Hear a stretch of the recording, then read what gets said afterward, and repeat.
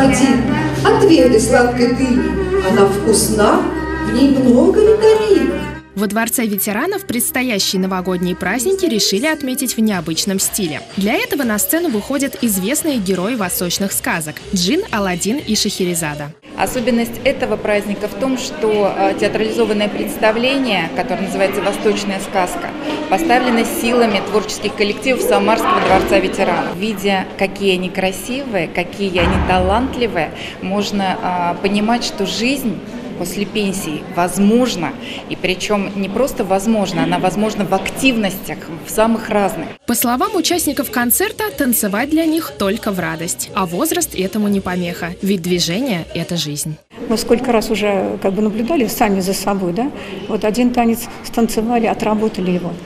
Еще, и еще, то есть тело просит, душа просит, сердце просит, зрители просят. Это сохраняет в первую очередь мозговую активность. Где есть мозговая активность, там есть и телесная активность. Татьяна не пропускает ни один концерт. Женщина признается, из зала всегда выходит в приподнятом настроении. Особенно приятно видеть на сцене своих друзей и знакомых. Я постоянно посещаю эти концерты.